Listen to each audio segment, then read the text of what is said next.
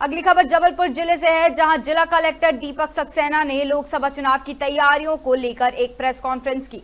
इस press conference में उन्होंने चुनाव के नामांकन भरने की प्रक्रिया और उसकी अंतिम तिथि के बारे में जानकारी दी। इसके साथ ही उन्होंने बताया कि मध्य प्रदेश चुनाव आयोग द्वारा मतदाताओं के लिए लगातार सरकार द्वारा जागरूकता के लिए चार रथ मंगवाए गए हैं, जिसे आज हरी झंडी भी दिखाकर रवाना किया गया।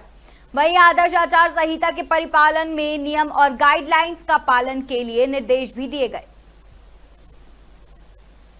हमारा पोलिंग परसेंटेज था। इस बार हम इस बात को लेकर कमिटेड है कि छिहत्तर प्रतिशत से ज़्यादा पोलिंग परसेंटेज इसको करेंगे। इसी को ध्यान में रखते हुए हमने स्वीप की जो गतिविधियाँ हैं, वो लगातार बढ़ा दी है।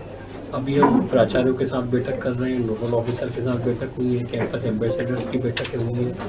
वीडियो संदेश हमने किए हैं, कुछ नारे शपथ पत्र नुक्कड़ नाटक, इस तरह की एक्टिविटीज़ भी कर रहे हैं रैलियाँ कर रहे हैं। वोटर आईडी कार्ड में यदि कोई सुधार की आवश्यकता है तो वो कर रहे हैं और सोशल मीडिया के माध्यम से भी जो है मतदाता जागरूकता का प्रचार प्रसार कर रहे हैं। जितनी इवेंट्स हुई है, उसकी जानकारी अभी जो प्रेस नोट हम आपको देंगे, उसमें आपको मिल जाएँगी आपको।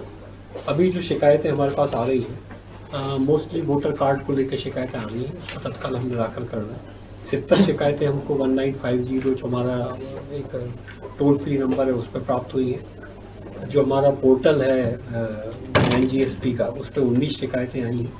सी विजिल पर अभी हमारे पास तीन शिकायतें आई हैं। आयोग से और अन्य जगह से हमारे पास दस शिकायतें प्राप्त आई हुई हैं, जिन पर कार्रवाई चल रही है।